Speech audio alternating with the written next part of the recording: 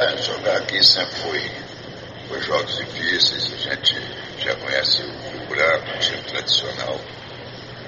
E a gente tem a dificuldade do gramado, né?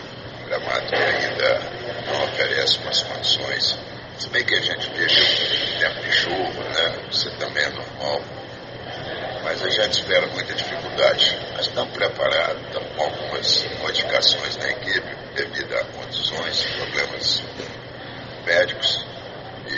de suspensão.